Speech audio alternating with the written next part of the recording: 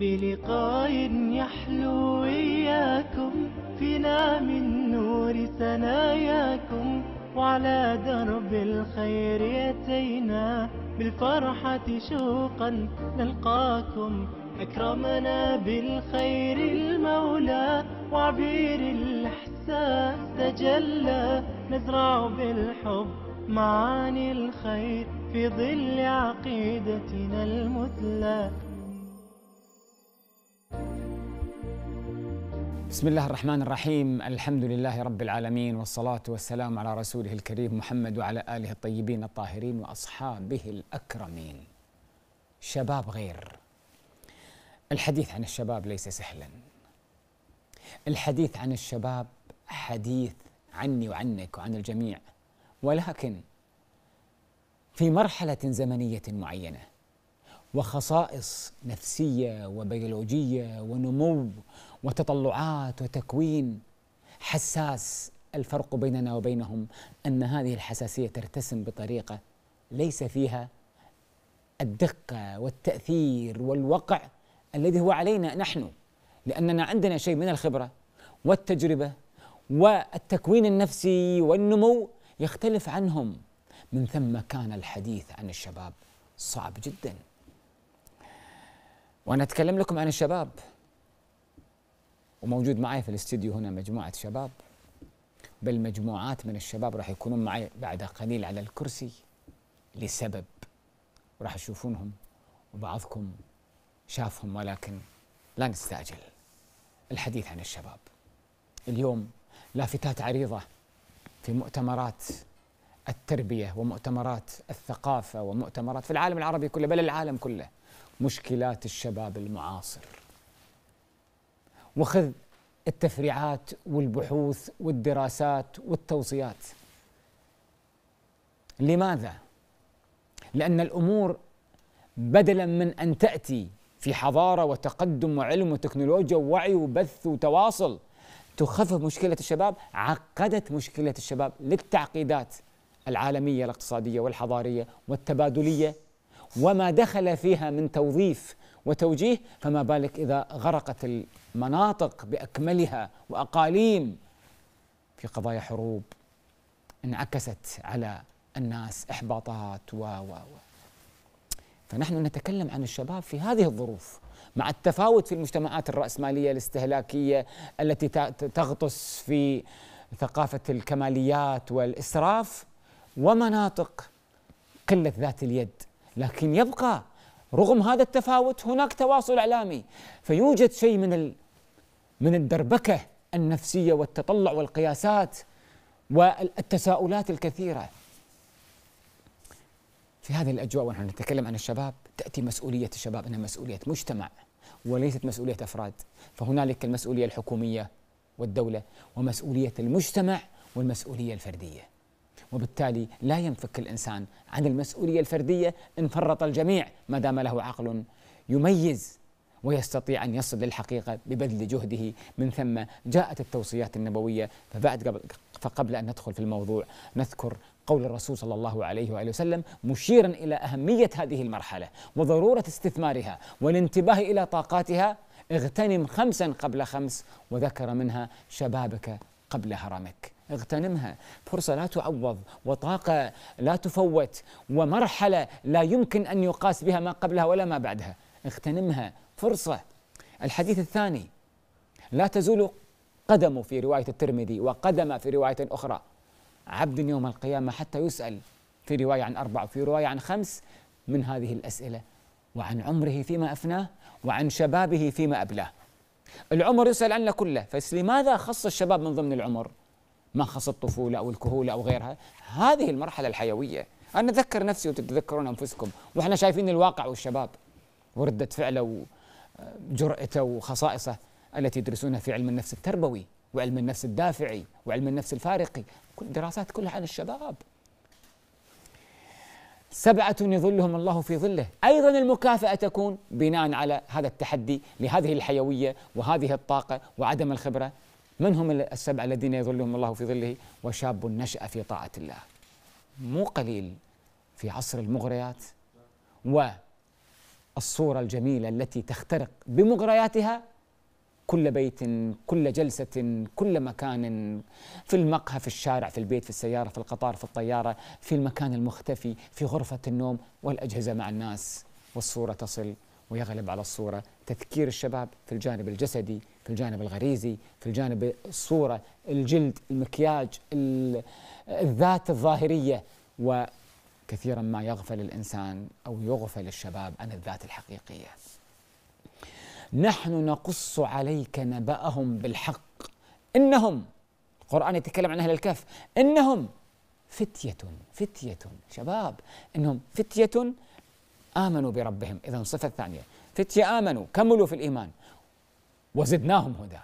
هذه الزيادة في الهدى لأنهم تحدوا وصابروا وقاوموا الشهوات والمجتمع في انحرافاته. وبعدين النقطة الرابعة وربطنا على قلوبهم. ولما نرجع ال ال على معنى الربط في القرآن وفي اللغة وفي التفسير نجد العزم والإصرار. إصرار على ماذا؟ على الإبقاء والتشبث بالحق ليس هذا الموضوع سهل. إذا وأنا أتكلم عن الشباب. وفي الاستديو معي مجموعة شباب. أتكلم تقسيم عام هذا اجتهاد شخصي عن خلونا نقسم الشباب إلى ثلاثة أقسام. واحد شباب حائرون ضائعون تائهون بلا هدف يهيمون يعني في الحياة لا أفكارهم أفكار سليمة ولا أخلاقهم أخلاق مستقيمة والكل يشكو منهم ابتداء في البيت وانتهاء في الشارع والعمل ومن ثم هؤلاء لا يفخر بهم وطن ولا نسب. اثنين شباب طيبون مسالمون أخيار إلا أن خيرهم منغلق على ذواتهم أو للقريبين منهم. الله يعينهم ويقويهم. المجموعة الثالثة اللي هم رابعنا اللي الله يقويهم ويزيد من نماذجهم خلوقون. طيبون يشرفون. وفوق ذلك لم يكتفوا أن عندهم خير لأنفسهم. رأوا أن المجتمع عنده حاجات وأن عندهم طاقات وأفكار فاجتهدوا لكي ينفعوا المجتمع. فصاروا من صالحين إلى مصلحين. يتعدى الخير منهم للجماعة وهذه مهمة الأنبياء. ولكن هؤلاء استثمروا الأدوات المعاصرة والوسائل الحديثة والأفكار المبتكرة في ظل هذا الانفتاح الكبير. فما أرادوا أن يكونون سلبيين شاركوا هذه المسألة زادت اليومين في الحياة في كل الدول التي تستطيع. هذه مجموعة تهتم في البيئة وهذه مجموعة تهتم في الأخلاق وهذه مجموعة تهتم في الإغاثة وهذه مجموعة تهتم. أنا عندي عدة مجموعات. في كل فاصل راح أخذ آخذ مجموعة مع هؤلاء الشباب. القسم الثالث الطيبون الذي نرجو أن يكثر الله من أمثالهم ويعينهم وإحنا حياتنا كلها في شبابنا. فيا شباب استغلوا طاقاتكم وهذه نماذج والساحة مليانة بنماذج. وبعد الفاصل نلتقي معهم بإذن الله.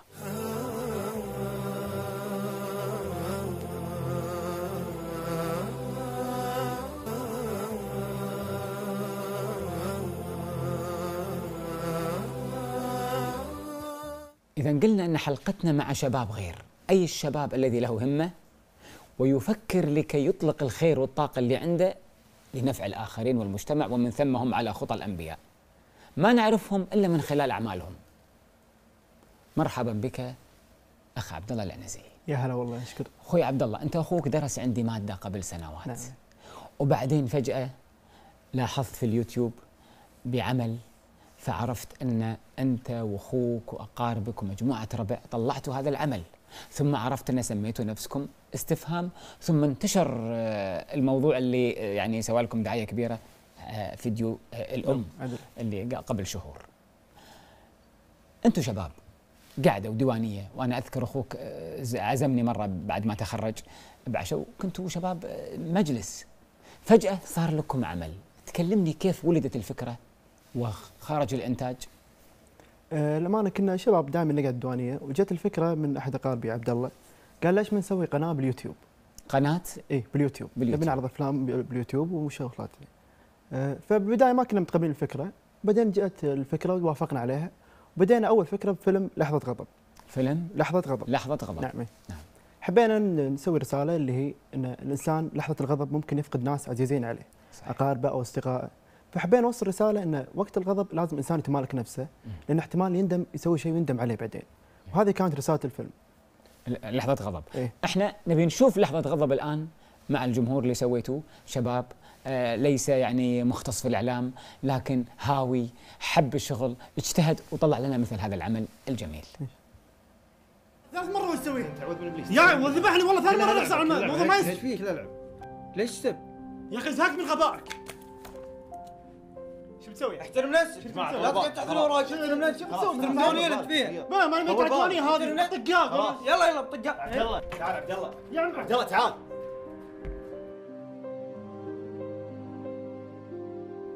لو بيدنا نرجع الزمن وبحركة نغير ردة فعلنا ونشوف شنو يصير.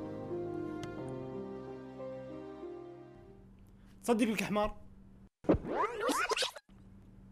تصدي بك حمار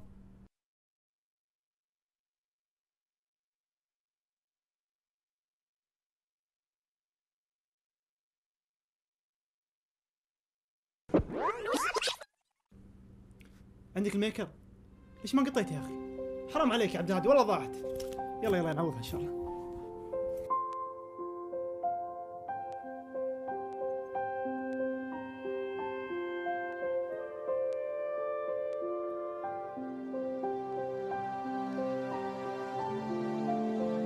صحيح إن ما نقدر نغير الماضي. لكن نقدر نغير الحاضر. صحيح.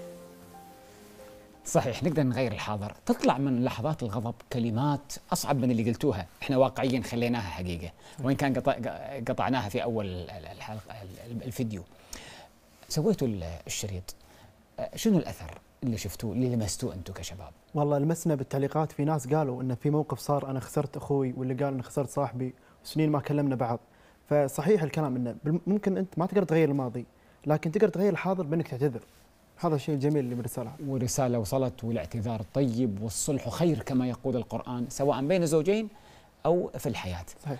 آه أنت بنفسك آه لما تسوي مثل هذا العمل آه تغ- أث- أكو أثر شخصي عليك؟ اي يعني أشوف ناس يسلمون علي بالمجمعات يصادفوني يقولون والله ان لما شفت الفيديو مالك أنا رحت اعتذرت لرفيجي اللي صار سنين ما تكلمت معاه وما شفته وواجهته فالشكر وكلام الناس شيء جيد وشيء طيب يعني يفرح الإنسان الحمد لله الإنسان يفرح بالخير اللي سواه ويحمد الله سبحانه وتعالى انه يكون آه، أداة آه، إيجابية. الجهد إيش كثر تأخذونه في هالشريط هذا؟ الفيلم نفسه هذا إيه؟ الفيلم هذا أخذنا تقريبا ثلاث أيام صورناه لأنه كان بسيط جدا يعني إيه. كان تقريبا دقيقتين ونص يعني ما أحتاج الوقت كبير طيب الفيلم الذي آه، كلمتوني عنه قبل لا يطلع أنتم طبعا زرتوني في البيت نعم. قبل الفيلم هذا اللي الحين راح نتكلم عنه فيلم الأم اللي سميته إيش؟ آه، أجمل ثلاث حروف. أجمل ثلاث حروف. هذا أنا آه، خالتكم أم أحمد زوجتي تقول جاه أكثر من من 20 مكان. إيه. الأخت الثانية تقول الأخ الثالث خلال يوم أظن وصل معدل التداول كم؟ مليون. مليون. وخلال يومين؟ مليونين. واليوم الثالث صار؟ ثلاث ملايين. ثلاث ملايين. أظن الشريط الأول اللي هو لحظة غضب كان 2013 شهر 10 إيه. أما شريط آه، الأم. كان شهر ثلاث شهر ثلاثة. زين. آه، اللي هو ثلاث- 2014 إيه. شهر ثلاثة. هذا الشريط أنا تأثرت فيه كثير. لأن إحنا يعني العمر له دور لكن هذا المعنى ربما يظن الإنسان تجاوزه لأنه كبر. صحيح. ولكن شو تفسر هذا الانتشار السريع لهذا المقطع البسيط؟ والله هي الفكرة اولا جت من محمد أخوي. قال لي بنقدم فكرة جميلة حق الأم. فالصدفة كان شهر ثلاثة إنه اللي هو يوم الأم. فقالوا آه، خلاص نقدم شيء بسيط بقيمة كبيرة. يعني تصويره كان بسيط ال location كان بسيط لكن القيمه كانت جدا كبيره آه يعني اذا انتشار القيمة. إي وكان عامل الوقت هو اللي ساعدنا إنه كان بهالشهر هذا هم لكن إحنا بغينا نبين شغلة من هالفيلم إنه مو شرط عيد آه، آه، نحتفل بالأم باليوم هذا. كل أيام السنة هو يوم الأم. اذا المخرج حط لنا بعد اللقطة الجميلة هذه خلينا نتذكر أمهاتنا بالايام الكريمة يا شيخ اللي أمه راحت الله يرحمها الله يرحمها. وأبوه يدعوا لهم. ها؟ واللي واللي أمة موجودة والله العظيم يا جماعة فرصة ما تعوض. والله فرصة ما تعوض. صحيح. والله اليوم إحنا بهالسن يعني شوف أمك يصير عمرك 50 سنة 60 سنة إذا أمك موجودة تقول لك يا وليدي لا تسرع.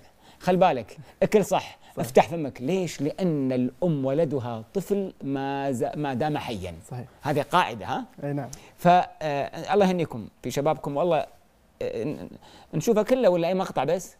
يلا شوفها نشوفها يا شيخ كلها. فدائما علق على باب المكتب. اي تشيك لي. آخر رقم ثلاثة خمسة ستة. إي يلا تكفى ناطرك ها بشرني. يلا ماشي.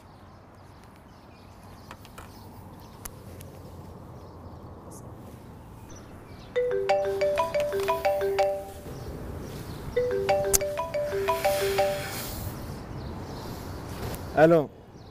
هلا يمه مشغول الحين مو مو وقته مو... كلمي محمد أنا مشغول. يلا يلا bye. ما ما أقدر ما أقدر ما أقدر. يلا.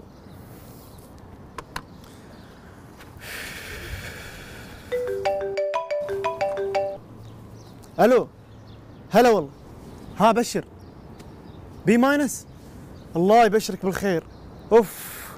والله إني محظوظ ما شلون طلعت من هالمادة هذه. إي يبا لك البشارة لك البشارة إي. خلاص ماشي ماشي. اليوم العزيمه اليوم إن شاء الله. يلا. أخيرا صدق إنك محظوظ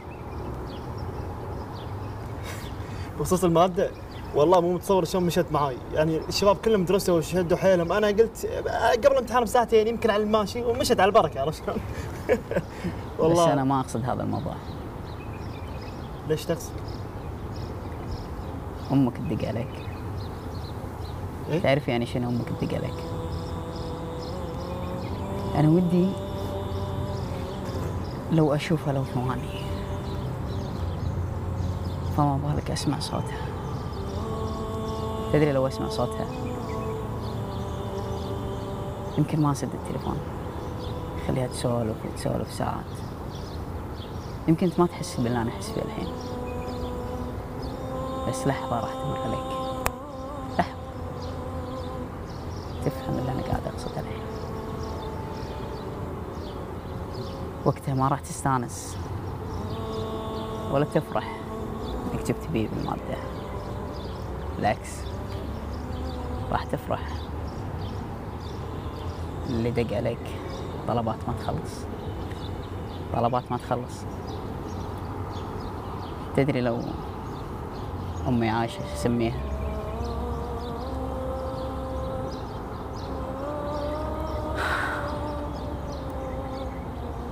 سميها أغلى ما بالكون ما أقدر أوصف لك شعوري أو شنو أقدر أسميها؟ الفرحة. مو بالدرجة. الفرحة. إن أمك دقت عليك أنا بعطيك نصيحة واحدة بس. أنا عندي باب من أبواب الجنة تسكر. أنت لحق على بابك قبل لا تسكر بعد عمر طويل إن شاء الله.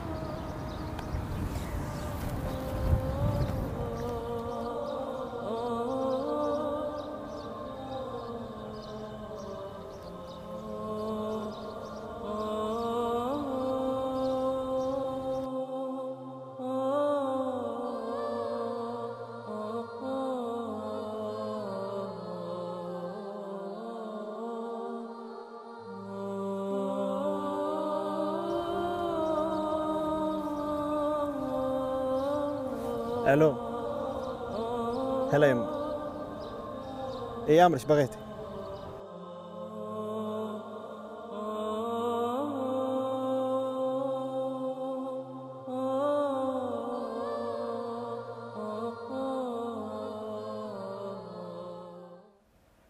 مشهد جميل ومؤثر. الله يجزيكم خير ويعطيكم العافية.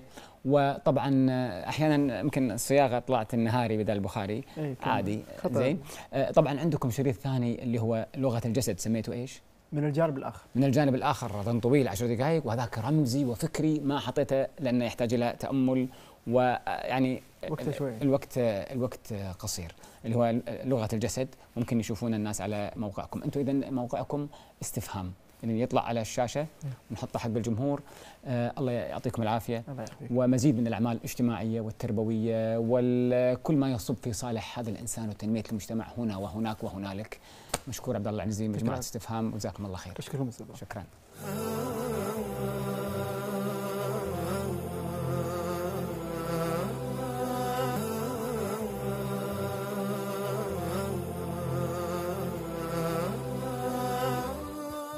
المجموعة الثانية اللي ألتقيها اليوم مع مجموعات اللي يسمونهم جروبات الشباب اللي بدأت تتكاثر حول أنشطة متنوعة تثري المجتمعات وتأخذ همم متنوعة ومن ثم تعطينا أمل في شبابنا الذي الصورة غالبا ما تكون قاتمة للذين يركزون على السلبيات. مجموعة تعرفت عليهم بعد ما دعوني قبل أربعة شهور من رمضان. آه نشاط أو رابطة أو نبلش بسم الله والحمد لله والصلاة والسلام على رسول الله. تصحيح أن أنت قلت ما بين تركيا وإسرائيل إحنا لا نعترف بدولة إسرائيل. وهذه آه، تأصيل عندنا حتى دول في دولتنا رحمة الله عليه الشيخ آه، جابر الأحمد يقول لو اعترف العالم كله بدولة إسرائيل فلن نعترف نحن بإسرائيل. فنحن أيضا على هذه الخطه إن شاء الله. أما شباب لأجل القدس آه، هم. عندنا من يفكر في القدس اليوم في المذابح الداخلية اللي انشغلنا بعضنا ببعض وتفرد اليهود بما ترونه وما يصنعونه بالأقصى يا جماعة؟ فبعثوا لي الأخ عبد الرحمن الفيلتشاوي مرحبا بك. فلما عرفتك ولا أنت مال سفينة مرمرة اللي تركيا وإسرائيل وأنت رايح غزة بعد وفاة أحمد ياسين صح؟ أي نعم. أي نعم. عبد الرحمن نشكركم على هذا الاهتمام. وكي لا تغتال الذاكرة والحق لا يسقط التقادم فما بالك بالقدس؟ شو اللي حملك أنت والفريق هذا سويته رابطة من أجل القدس؟ الله يجزاك خير أول شيء نبلش. بسم الله والحمد لله والصلاة والسلام على رسول الله. تصحيح أن أنت قلت ما بين تركيا وإسرائيل إحنا لا نعترف بدولة إسرائيل. وهذه آه، تأصيل عندنا حتى دول في دولتنا. رحمة الله عليه الشيخ آه، جابر الأحمد يقول لو اعترف العالم كله بدولة إسرائيل فلن نعترف نحن بإسرائيل. فنحن أيضا على هذه الخطه إن شاء الله. أما شباب لأجل القدس آه، هم عندنا اللي هو القدس. آه، ليش القدس؟ ليش حطينا همنا القدس؟ آه، لماذا المسجد الأقصى؟ اولا لأنه مغتصب. ثانيا هو عقيدة بالنسبة للمسلمين آه، حديث الرسول صلى الله عليه وسلم لا تشد الرحال إلا لثلاث مساجد المسجد الحرام مسجدي هذا مسجد- والمسجد الأقصى. فرأينا أن القضية تقلصت تقلصت تقلصت حتى صحيح. أصبحت قضية آه، فقط تخص دولة فلسطين وهو يعني حقيقة المسجد الأقصى يخص كل المسلمين العرب وغير العرب. واكتشفنا أيضا هناك كثير من الفرق والروابط حول العالم تعمل لهذا المجال تعمل في هذا المجال. و- تواصلت معهم. وتواصلنا نتواصل يعني من فترة نتواصل مع عدة آه، مجاميع وفرق وروابط. إلى أن وجدنا رابطة شباب لأجل القدس. يوم أنشأناها إحنا في الكويت في شهر 8 2008 مم. كان رقمنا إحنا من ضمن هذه الروابط تقريبا 15 أو 16 فلها انتشار كبير. الآن وصلنا إلى حوالي 30 أكثر من 30 رابطة حول العالم العربي والإسلامي وحتى الأوروبي يعني عندنا روابط في فرنسا في البوسنة في الجبل الأسود آه، مشهرة جيد في السويد عندنا الآن آه، فهذا شنو عملكم على أساس ندخل الآن إيه. أنتم تريدون أن تحيوا هذه المسألة نعم. شنو أعمالكم إحنا عمل رابطة شباب دجاج القدس هو هي. رابطة تنسيقية. نش- نشاطاتنا آه، آه، في التدريب والتعليم بما يخص قضايا القدس والنهضة في آه، في فكر الأمة نحو هذه هذه القضية. لاحيائها من جديد هي موجودة لكن إحيائها بطريقة أخرى من جديد. فبدأنا بعمل دورات تخصصية فيما يخص المسجد الأقصى ومدينة القدس عموما وقضيتها. حتى نحييها يعني على الساحه العالمية من جديد بدل ما كانت آه، آه، محوط آه، بدل ما كانت يعني محكورة في دولة في مكان واحد ما هي قضية دولة قضية أمة فهي قضية أمة. الشيء الآخر لقينا أن الجانب الثقافي سيء جدا بالنسبة للناس، تسأل الناس شنو المسجد الأقصى؟ فاللي يقول لك القبة الذهبية. ولا اللي يقول لك يعني القبة الفضية. أو أعطيك اسوء من هذا، سألنا ناس موجودة باليوتيوب الأسئلة هذه موجودة باليوتيوب. في سنة 2006 يمكن سووا البحث اخواننا شباب لجل القدس أين يقع المسجد الأقصى؟ تستغرب إن الناس أعطتك مناطق غريبة عجيبة لا تقول محمد يكفيني أحباط أنا أبي مثل هالأشياء النتف اللي موجودة نعم. كوب عليه الأقصى آه هذا هذا رمل ولا إيش؟ هذا تراب من المسجد الأقصى المبارك تراب بالمسجد الأقصى نعم فيه بعض أغصان من شجر الزيتون آه، حتى نعيد إن شاء الله مرة ثانية إلى الأقصى.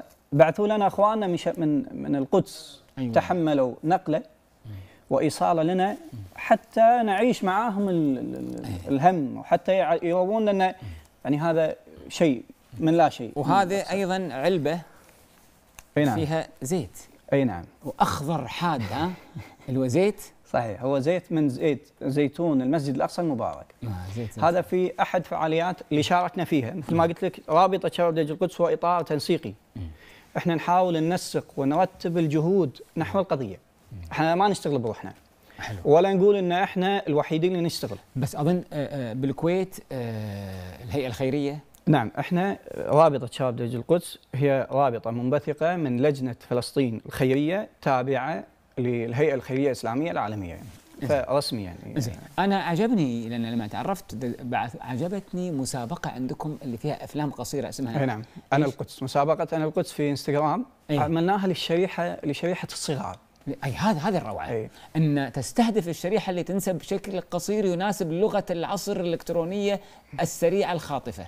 فأنا ودي آه، نشوف بعض هذه الأفلام لو يا المخرج تحط لنا بعض الأفلام القصيرة.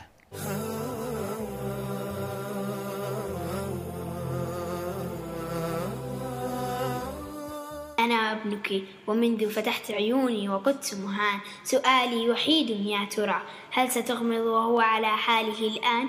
متى يأتي يوم أصرخ فيه؟ أنا في القدس أنا في أحلى مكان. سأرسمك وأنحو من هنا صهيون. يدنسك يا قدسي سأرسل في السماء حمام فيشعرني بقرب سلام. مع الأحلام أترك رسمتي وأنا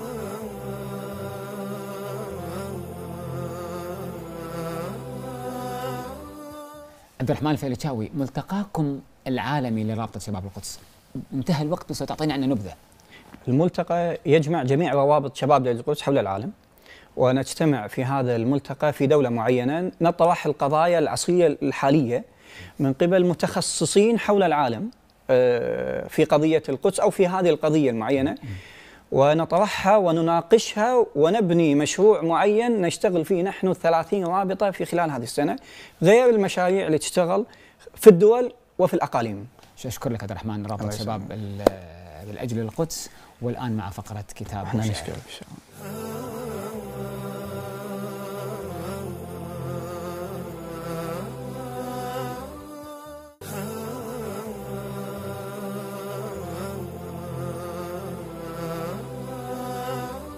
كتاب اليوم بعنوان روضة المحبين ونزهة المشتاقين للإمام ابن قيم الجوزية من علماء القرن الثامن الهجري.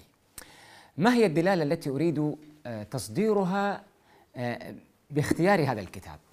واحد الكتاب يتكلم عن المحبة والدين دائما عندما يسوق أو يكون في انطباعات كثير من الناس أنه يتجلى فيه معنى السخط، معنى التكشير، معنى حرمة الحب، معنى فهنالك تصور نمطي خاطئ عن الحب في الدين.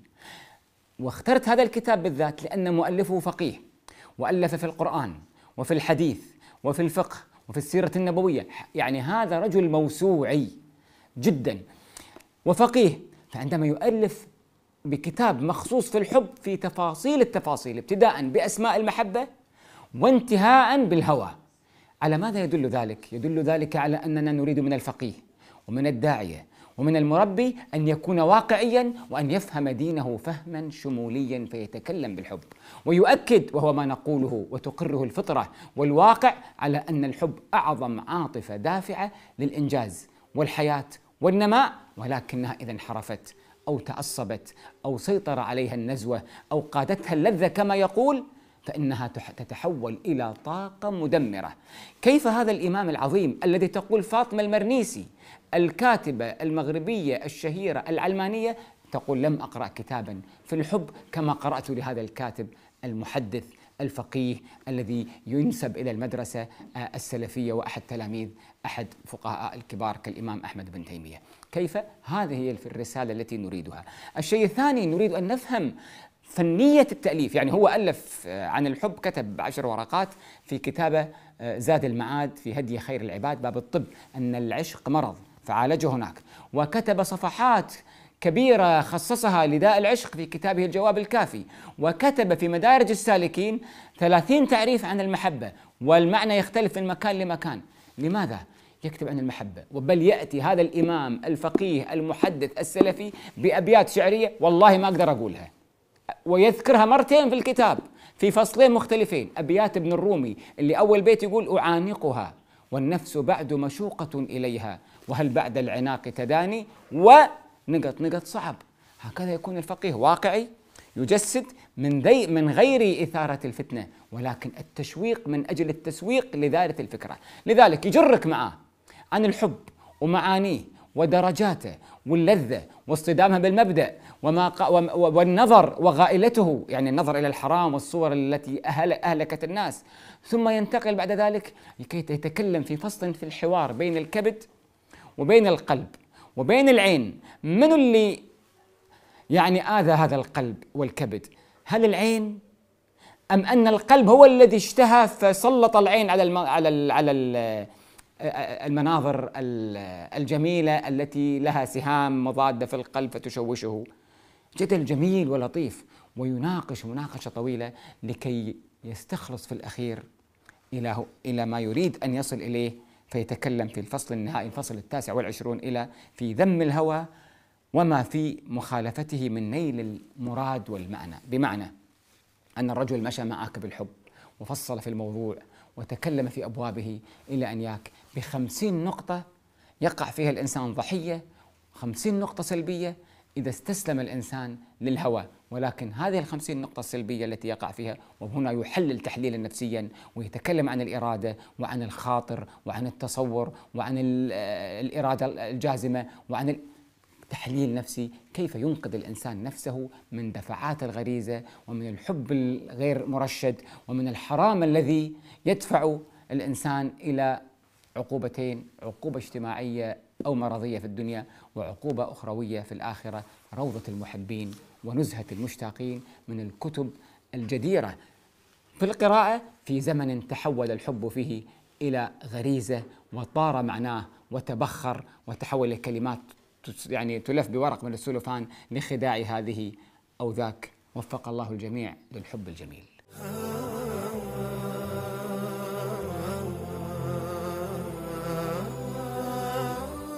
باتوا على قلل الأجبال تحرسهم غلب الرجال فما أغنتهم القلل. واستنزلوا بعد عز من معاقلهم فأودعوا حفرا يا بئس ما نزلوا. ناداهم صارخ من بعد ما قبروا. أين الأسرة والتيجان والحلل؟ أين الوجوه التي كانت منعمة؟ من دونها تضرب الأستار والكلل. فأفصح القبر عنهم حين سألهم تلك الوجوه عليها الدود يقتتل. قد طالما أكلوا دهرا وما شربوا فأصبحوا اليوم بعد طول الدهر قد أكلوا. هذه الأبيات الشعرية للإمام أبو الحسن العسكري علي الهادي ابن محمد الجواد ابن علي رضا من سلسلة آل بيت رسول الله صلى الله عليه وسلم. سمع الخليفة المتوكل أن بوشاية أن الإمام العسكري أبو الحسن قد جمع قوما وسلاحا ويتأهب للانقلاب على الخليفة العباسي. فأرسل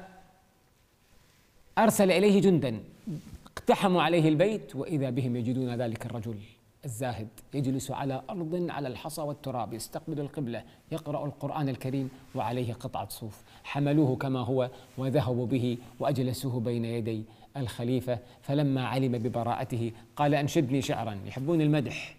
فقال أعفني لست من أهل الشعر. قال لا تقول. فقال له هذه الأبيات. يعني البلاغة هي ماذا؟ يعني مناسبة المقال لمقتضى الحال. يعني رجل صاحب قرار سطوة ملك ماذا تقول له؟ قال له بأخلاق آل البيت وأهل التقوى والورع. فقال له باتوا على قلل الأجبال تحرسهم. يعني الملوك والرؤساء والزعماء والقادة حتى الوزراء والمسؤولين ورؤساء الشركات والمديرين في الوزارات يا أخي. باتوا على قلل الأجبال تحرسهم غلب الرجال فما أغنتهم القلل. واستنزلوا بعد عز من معاقلهم وأودعوا حفرا يا بئس ما نزلوا. ناداهم صارخ من بعد ما قبروا. أين الأسرة والتيجان والحلل؟ أين الوجوه التي كانت منعمة من دونها تضرب الأستار والكلل؟ فأفصح القبر عنهم حين سألهم تلك الوجوه عليها الدود يقتتل. قد طالما أكلوا يوما وما شربوا فأصبحوا بعد طول الأكل قد أكلوا. أصبحوا وجبة دسمة للديدان وللبكتيريا وللتراب. وآه من هذا التراب. لو أن الإنسان يعرف لغز الموت ما بعد الموت وأن في يوم آخر وأنه ليس خالدا ويهرب من تلك الفتنة التي خلقها الله فيها ونبهه واستغلها إبليس. هل أدلك على شجرة الخلد وملك لا يبلى؟ لعبة إبليس على غريزتين. غريزة الخلد الخلود والملك. والخلود يقتضي ملك والملك يغري بالخلود فمتى يتيقظ الإنسان؟